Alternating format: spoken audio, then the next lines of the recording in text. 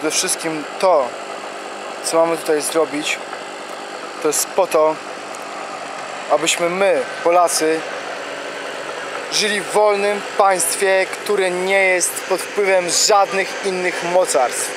Abyśmy, Polacy, potrafili budować Polskę wolną, wolną od kłamstw, od tego, co się teraz w tym momencie dzieje. Jeżeli tymi rękoma, powtarzam kolejny raz, jeżeli rękoma nie zbudujemy swojej ojczyzny, nigdy nie będzie ona nasza.